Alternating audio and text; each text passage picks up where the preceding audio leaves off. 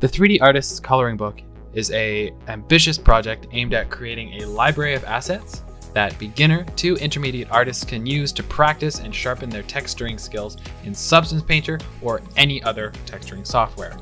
This is because not everyone can create professional level assets to begin practicing their texturing skills. This is why I'm creating a book containing tons of ready to texture assets that even a complete beginner can begin practicing with.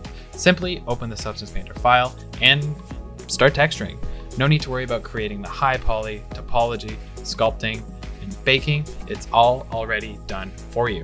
While the book's not ready yet, I do have a page, the very first page, this Sunbringer Shield is out totally for free. So if you want to test it out yourself and give me some feedback on what you think about the project, please go to my ArtStation page. I'll leave a link in the description and grab it yourself and try it out and let me know.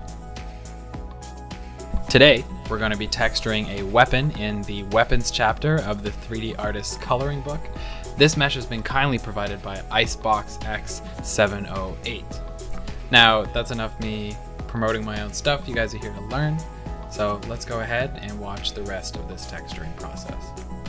Enjoy.